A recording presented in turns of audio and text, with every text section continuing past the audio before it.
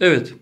Şimdi elimizdeki 4 tane maskenin üfleme testini yapacağız.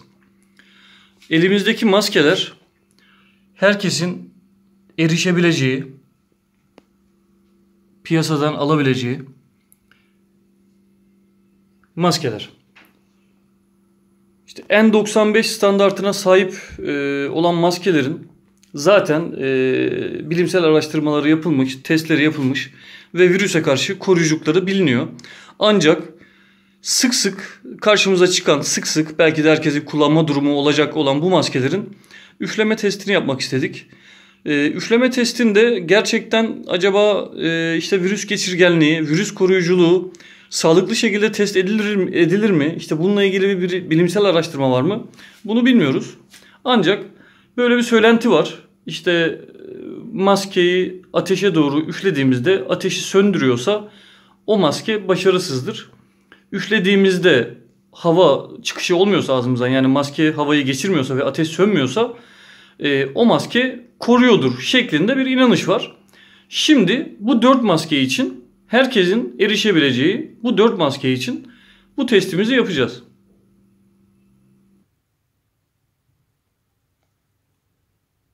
Gördüğünüz gibi iki tanesi beyaz renkli cerrahi maske ancak ikisi farklı birbirinden çok benziyor sadece. Bu iki siyah maske de birbirine benziyor ama bunların da e, birbirinden farkı var. Şu biraz daha kalın yapıda sünger gibi hatta sünger galiba. Bir tanesi paketin üstünde işte nano kumaştan üretilmiştir yazan daha esnek. Ee, yani eğer yanılmıyorsam bu dalgıç kumaşından yapılan, dalgıç elbisesi kumaşından yapılan olan maske. Önce bu cerrahi maskeden başlayacağız. Bu cerrahi maskeler şu an devlet tarafından ücretsiz dağıtılıyor. Ee, işte devlet tarafından dağıtılıyor derken yani daha önceden ücretle eczanelerden alınabiliyordu. Yani bu günümüzdeki virüs salgınına özel işte devlet tarafından üretilip de işte virüse karşı koruma sağladığı garanti edilen bir maske değil. Ee, tek fark parayla satılıyordu artık ücretsiz veriliyor devlet tarafından.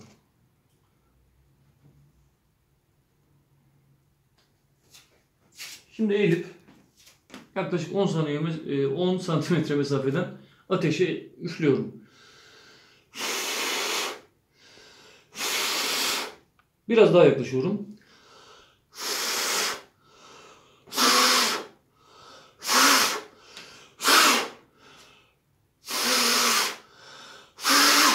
Evet.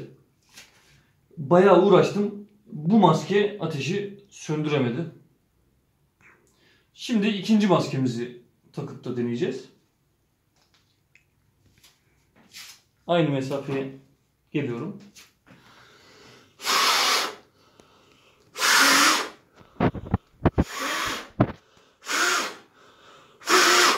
Bu sanki biraz da e, hava geçirgenliği var ama bir türlü söndüremedi. Çok kuvvetli bir tekrar, tekrar deneyeceğim.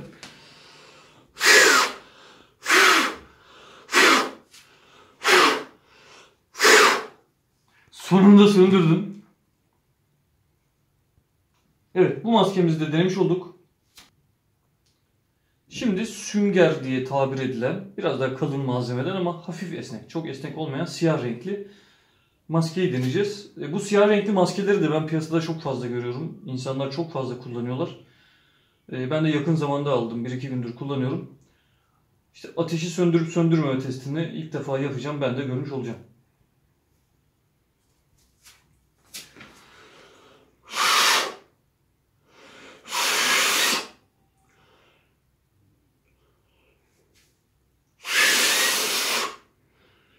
Bu yani neredeyse ateşi kıpırdatmıyor. Herhalde benim masaya dokunmalarımdan biraz şey oldu.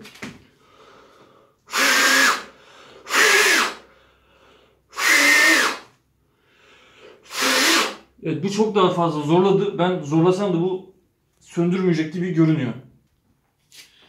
Şimdi elimizdeki son maske olan teste tabi tutacağımız son maske olan bu oldukça esnek olan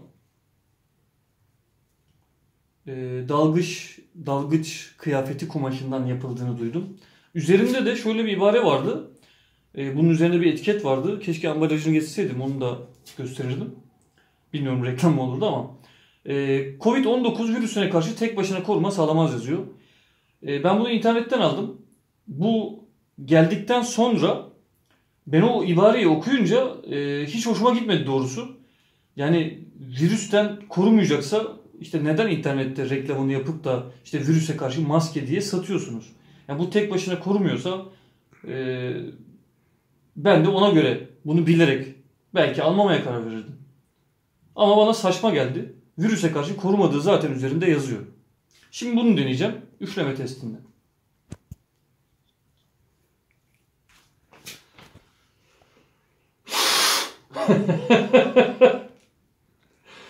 evet. E, nefesimi öyle ayarladım ki işte sönmedikten sonra tekrar üflemeye, tekrar üflemeye kendimi hazırlamıştım.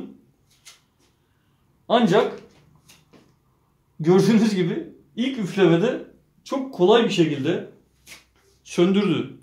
Eğer üfleme testi gerçekten geçirgenliği gösteriyorsa veya da virüse karşı korumamayı e, gösteriyorsa veya da işte üflediğimizde ateşi söndüremeyen, söndüremediğimizdeki maske virüse karşı koruyorsa şu gördüğünüz esnek kumaştan yapılan maskeleri asla almayın diyebiliriz.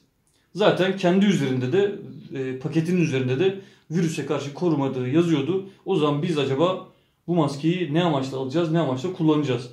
E, tek bir fark var. Hakikaten taktığımda en rahat eden, sanki üzerimde maske yokmuş gibi çok rahat nefes aldıran da buydu. Demek ki bu geçirgenlik sayesinde olabilir.